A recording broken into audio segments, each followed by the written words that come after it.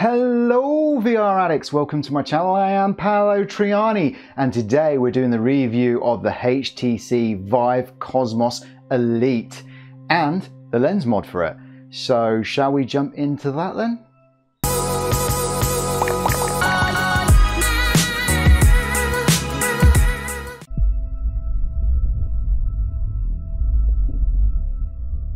Well, we'd normally start with the build here, but as this is the same review as the original Cosmos, I would suggest you go and watch that review, which is up there.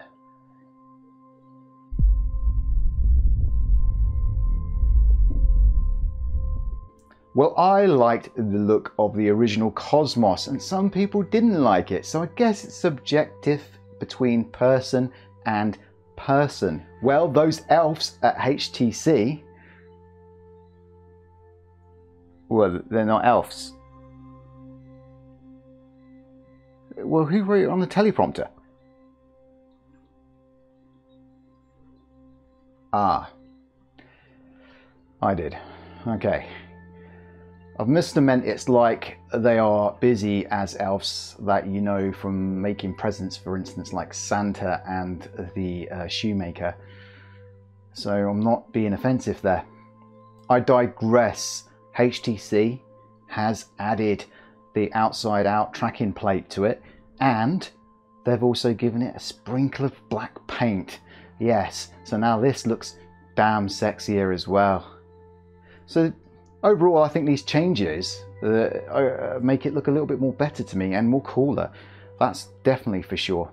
But again, that's my opinion.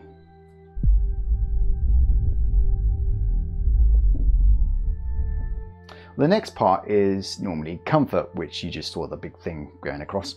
Um, well, I would recommend you go and watch the Cosmos review as the comfort is pretty much the same. Except I will say that I kind of feel like it's a lot better when you wear it like a crown because I moaned about it being a bit, a bit, bit pressury here. But I have to say that if you wear it like a crown, you don't get so much pressure. And because the sweet spot's not as high on the vertical, it kind of helps to have it a little higher as well. Just my recommendation if you end up getting one or if you've got this kind of slope going on. I think that people with the slope work really well with the halos. People with the flatter heads or the curved head do not.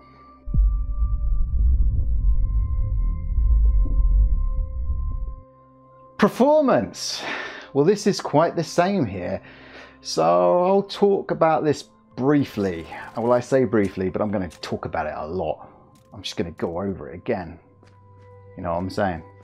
Also, if you're looking for my opinions on the uh, lens mod, you'll find that down later on near the end of this review. Okay, so now I would still moan about the sweet spot on this headset, and it's still lacking in that area. But oddly, it's better than the original Cosmos. And I don't know how that's possible because I'm pretty much sure it's all the same. But the sweet spot has slightly improved on this headset, but it's still not good enough in my opinion. But when I got it again, I can appreciate those blacks. They are really, really deep blacks in there. It's obviously not OLED, so the, those blacks will drown out the color, but the color does pop where those blacks are not present. So, you know, if you've got like a lot of bright sceneries and lots of colors popping out at you, then it's gonna look amazing. It will pop. Um, if you've got a really dark corridor and there's some color in there, then it might get drowned out by the higher, deeper blacks due to the fact that it's not an OLED. But it looks damn good. God rays seem to be reduced as well. I thought the God rays were pretty much similar to the first generation headsets, you know, like the CV1 and the Vive. Um, similar to that kind of glare and God rays on the original Cosmos, but on this it seemed to be hugely reduced. And that was quite pleasant to see actually. I quite enjoyed that. So there's some improvements there as well. And also the field of view felt a little nicer. It did feel like 110. It didn't feel quite as big as something like the Index or quite as small as something like the Rift S, but it's at, definitely sat somewhere in between. It was quite nice. And one area of this that has improved over the original Cosmos is obviously the tracking. We, uh, we have outside tracking with the uh, lighthouses uh, which they're also known as the HTC Vive base stations. So we do have them now, and they make excellent, perfect tracking. I've not had a problem. Can my rig, my PC, or my box, depending what you call it, play games on this headset because it's driving that 1700p screen. Well, I have an RTX 2080 Ti, so I've literally got the most powerful gaming graphics card that money can buy, and it is not a cheap graphics card neither. And it kind of runs most games really well. Some odd games, like the Wizards Dark Times for instance, runs quite rubbish, but it runs quite rubbish to begin with anyway. And if you had a Rift S, like I did when I did my review, it runs perfectly fine on that because obviously that's only a 1400p screen. But then I also got to talk about the reproje reprojection. Reprojection uh, can kick in, and I find that when it kicks in, it's it's terrible. It's it does not hold a candle to the Oculus asynchronous warp 2 technology that they use. Theirs is literally up here and everyone else's is right down here until you get to Windows Mixed Reality, which is almost sometimes doesn't even want to work, I think. Um, it's yeah, it's not nice. And when it does kick in, it's kind of jank as well. Um, so when you're running at 45 FPS with the Rift S, for instance, you will know you're doing it, but it will feel smooth. But with this, it will feel like you're running at 40 FPS, like, so you're like, what's it reprojecting? I don't get it. it just seems to be half in my FPS. Um, so it's not very pleasant. So just like with a lot of headsets, I would like to run at full max frame rates to get the smoothest I can. And if you're one of those people that want to do that, yes, pushing some of these games might be pretty difficult if you've got anything lower than a 2080 Ti. I kind of feel like my RTX though, 2080 Ti, is literally pushing that 1700p screen the best it can. With a look, oh my god, he's got the Elite plugged in. Let's do a runner out of his PC box. You know, like it just grows some legs and it's like, I'm out of it. It doesn't really want to push that 1700p very well in a lot of graphically games. Uh, so yeah, you want to be extremely careful. I would say though, a 1080 Ti or a 2080 would be preferred for this headset. However, if you don't mind reducing super sampling or graphics settings, then your rusty GPU might hold up. But only if it's a supported GPU.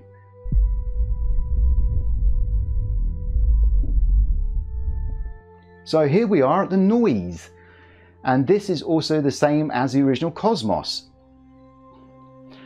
It's okay, it doesn't hold a candle to the CV1 and the amazing index cans, but it does have deep, strong bass in there that you'll uh, you, they, will be happy about. You'll be happy about it, and I can hear footsteps really loud in contractors, so that's a plus. So it's very good for competitive games for sure.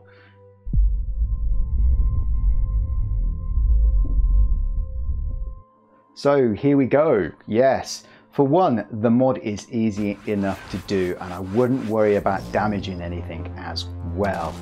Anything from the 3D parts to the full kit and a tutorial on how to detach it from my man VR Gamer Dude will be in the description below. So did I mess up? Well at first I kind of put the lenses back to front and uh, also got some dust inside it as well. Um, so definitely buy an air duster like um, Gamer Dude tells you to do, VR Gamer Dude tells you to do, because if you don't, then you're going to get some of that 3D printed material probably in there, and it will, uh, or some of the glue around the edges as well. That peels off and can fall in there. I got hair in there at one point. I don't know how I got hair in there. It, it wasn't even from me uh, or anyone that lives here. No, I'm kidding. Uh, it probably I've got HTC uh, employee hair in there somewhere. I ate it. Mm. so anyway, when all those issues were sorted, did it make it any better? Well, short answer is yes. But we don't do short answers here. Nah, nah. We're going to delve into it a little bit more. Uh, yes, the sweet spot on the horizontal has improved. Yes, it's improved enough to enjoy games now. Yes, I can actually use this now. It's kind of similar to the Rift S, but probably a little bit worse. But it's close enough now that I can actually enjoy playing this in VR. The sweet spot has improved. However, I can't help thinking though that this is at the cost of the field of view because the lenses are smaller. So surely, um, I feel like the field of, the field of uh, view has shrunk quite a bit. If I'm going to be completely on, honest with you, but it still doesn't match the Index or the Rift S. Like I said, the, those are got a better sweet spot by far, especially the Index, which is all the way to the end. I didn't realize the God rays. I didn't even bother to look because I didn't even see them. So either that's hugely improved, like Rift S standard improvement, or I just didn't see it at all. And going on about mura as well from earlier, uh, I, you know, it's hard to see if there's any mura in there, um, unless it's a lot like the HP Reverb uh, version 1 was like, uh, and like the PlayStation VR is like. I'm pointing that way because that's where it used to be. Um, but I can't see any, so that's great. And uh, the chromatic aberrations, I, I couldn't see any neither before or even after the mod. I say artifacts have been reduced quite a lot. I did see some warping when I first put it on, especially in Steam Home, but then when I got into Half-Life Alyx and then a few other games, I suddenly didn't see it anymore. So it was almost like it just corrected itself for or something. It was very odd. Um, definitely uh, a lot better now. Um, definitely have to break it in. After doing the lens mod, um, it only goes down to about 63 millimeters on the IPD. It goes a little bit lower now and then, but that's a bit weird because I'm I'm around 60 millimeters, but I still found it quite sharp and I still found it very good. So maybe that scales a little off, who knows? But it seemed to be very good.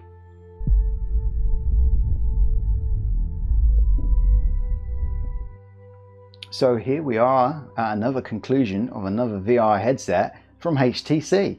And so far it's been mixed bags, hasn't it? The Vive Pro, I loved. I actually really like the Vive Pro. I thought it was pretty damn good. Now the price is obviously a lot cheaper when you can pick it up cheap and stuff.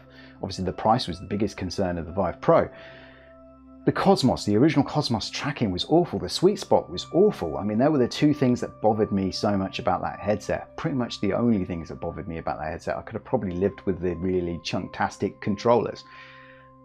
And plus, they were really nice looking. Go to bed with them at night, you know, give them a cuddle. So, how does the HTC Vive Elite Cosmos Elite Elite Cosmos, like the Elite version of the original Cosmos. I think that's probably the way we should look at it. It's just a faceplate after all. Well, that faceplate makes a big difference, obviously.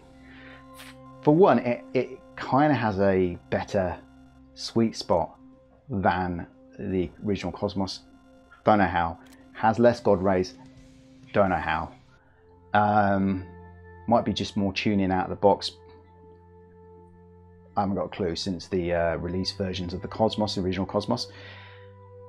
And the God rays seem to be smaller and it's overall nicer. It, it, the God rays in it are a million times more dealable. I can deal with it so much more than the glare of the index. I know God rays glare doesn't bother everybody, but it bothers me so much. Um, as much as the sweet spot, which I've probably said about, I don't know, is anyone counting? So I would say when you do the lens mod though, it becomes nearly as sharp as the HP Reverb. It's that sharp when you're playing games and it's really, really nice to see. And obviously now I can actually play it because the sweet spot is big enough to enjoy games. So the mod is definitely worth it, but only worth it if you plan to keep the headset, which then raises the question, who's this headset for? Well, I'd say anyone that wants to go wireless. I mean, the wireless adapter works with this headset. Yeah, you're going to have to buy like a little attachment kit, which is probably about 50 bones or more. But, you know, as soon as you get that and the HTC uh, wireless adapter, you're going to be wireless. So if you don't like cables, this is probably going to be for you. If you're somebody who doesn't even like the glare of the index but wants that kind of resolution, again, this is for you. I do recommend though you get yourself some of those index controllers because they are far more superior in my opinion to the ones. Now I don't have a wireless adapter but if I can source one and I can get one we'll do another review on this. So overall, the HTC Cosmos Elite, Vive Cosmos Elite, the Elite of the Cosmos, the, the Master Race version of VR. Uh, what would I say about it? Well, I definitely think it's a very good headset now. The tracking is sorted with the outside tracking device. I, I think it's definitely great with the index controllers. Bit worried about support with the headset um, so far. I'm a bit worried about what kind of games you could run on it because I like graphics just as much as anybody else. But I'm very worried that um, I might have to reduce those graphics to run some games even with my 2080 Ti. So that's kind of worrying. You've got to really, really think about that part when you go to buy this. And also, if you want that larger sweet spot, you may have to mod it as well.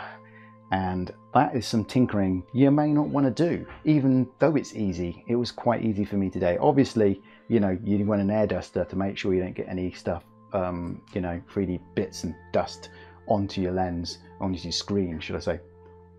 So you want to make sure you do that perfectly right. But it does look great inside. You know, it's nice not having any real mura that's noticeable.